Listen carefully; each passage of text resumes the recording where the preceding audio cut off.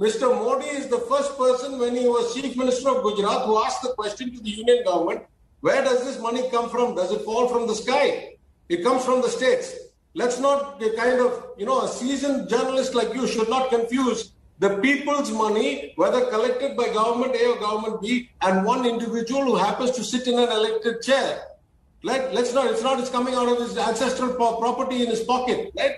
Whose money is it? It is the people's money. Whether it is spent by the union government or the state government, it is the people's money. Let's not get really worked up about these nuances of who gets credit and all that. The people's money should be used to buy vaccines for the people.